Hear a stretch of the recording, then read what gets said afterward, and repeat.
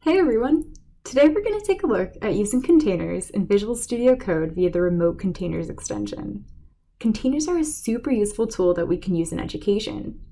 Usually at the beginning of the semester, I need to go figure out which versions of languages and tools and runtimes I need for all of my classes and go set them up on my computer.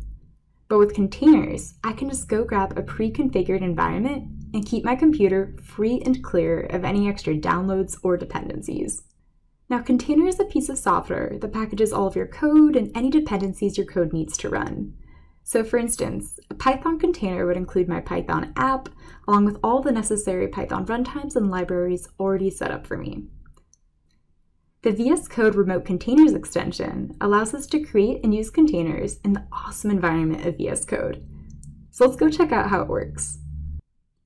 Now let's say one of my classes for this semester is going to use Python for its programming assignments. Here in VS Code, I can open up a new terminal and type in python dash dash version to see what version of Python I have installed on my local computer.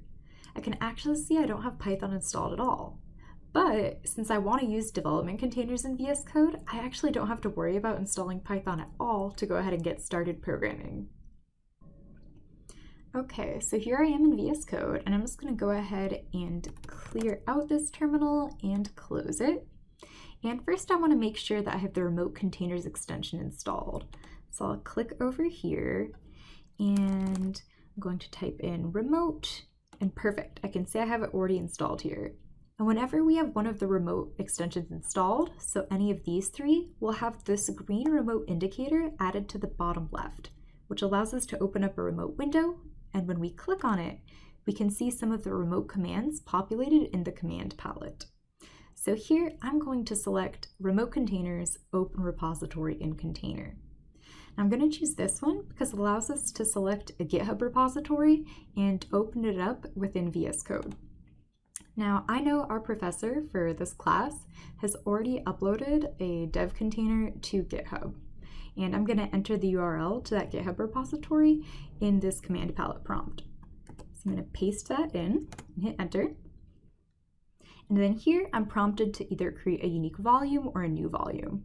Now, volume is essentially a storage mechanism for our container and all its files, and either option is totally fine. So I'm just going to select create a unique volume.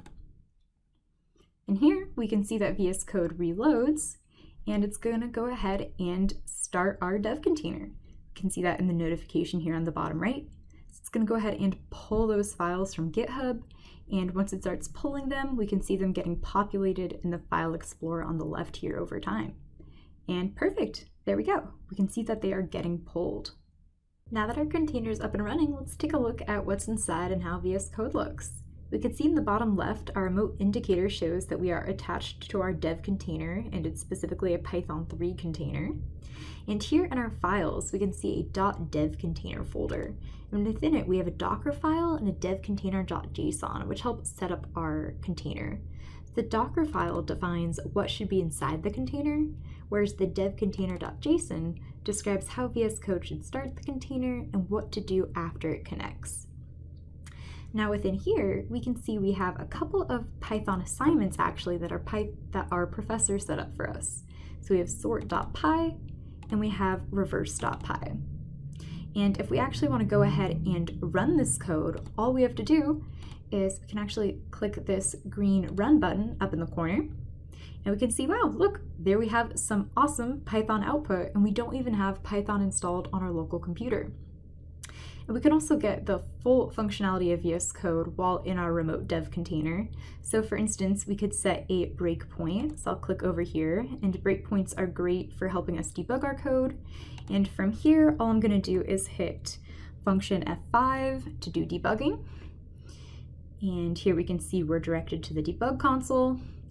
And now we're gonna start debugging our program. So first our program is sorted, and then I can do a step over, and then it'll go ahead and print if I do another step over.